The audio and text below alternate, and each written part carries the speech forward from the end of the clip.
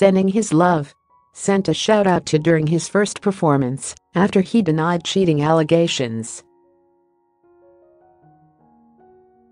The Sicko Mode rapper, 26, took his Astroworld Wish You Were Here Tour 2 to Madison Square Garden in New York City on Saturday, March 2, days after he shot down a report that he was unfaithful to the 21-year-old Kylie Cosmetics CEO. Remember to keep your family first, the musician told the audience during his set, a source confirmed to us. The Goosebumps wordsmith also referred to the Keeping Up with the Kardashians star as wifey in a shout-out before he left the stage. Scott, real name Jacques Berman Webster II cancelled his Buffalo, New York show on Thursday, February 28, after TMZ reported that Jenner accused him of infidelity and had the evidence to prove it. However, he claimed sickness as the reason. Buffalo I'm so sorry I can't perform tonight, Scott tweeted on Thursday. I'm under the weather and it f-king sucks. Can't pull up without full rage. Show rescheduled to March 10 all tickets are valid. See you soon. In response to the TMZ report, the Grammy nominees rep released a statement to Entertainment Tonight, vehemently denies he cheated on Kylie. It is not true. He did not cheat.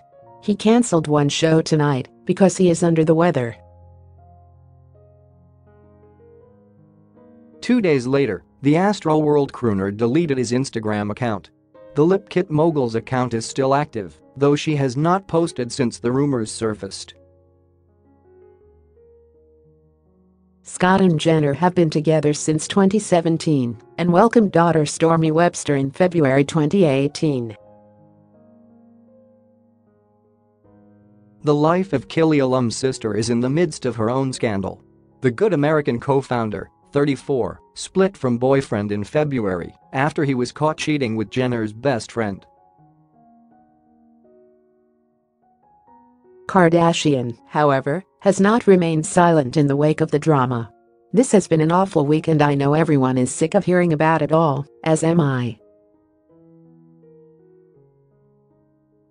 I'm a rollercoaster of emotions and have said things I shouldn't have, the reality star tweeted on Saturday.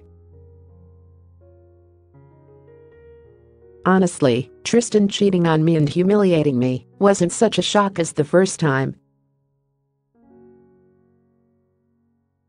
A source revealed to Us Weekly in February that Jenner defended Jordan in the beginning, adding, At first the family thought Kylie would eventually take Jordan back, but now they don't think that she will. Videos courtesy of Melissa Posey. With reporting by Mark Lupo.